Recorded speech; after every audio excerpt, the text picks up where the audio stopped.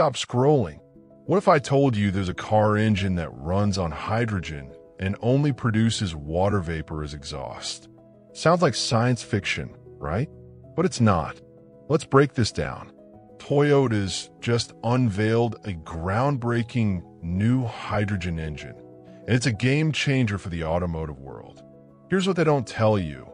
It works remarkably similar to a traditional gas engine, but instead of burning gasoline, it burns hydrogen. This hydrogen, stored safely in a fuel tank, mixes with oxygen from the air.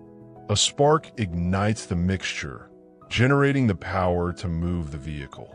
Let's explore this further. The real magic? The only byproduct is water. Think about that for a second. No more harmful greenhouse gases contributing to climate change. This isn't just some incremental improvement.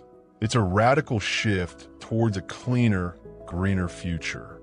This is a revolutionary leap that has the potential to completely change how we think about transportation. So, what does this mean for the future of driving? Will hydrogen power become the new standard? And more importantly, will we ever see a time when cars contribute zero to air pollution? The possibilities are electrifying. Let's discuss them in the comments below.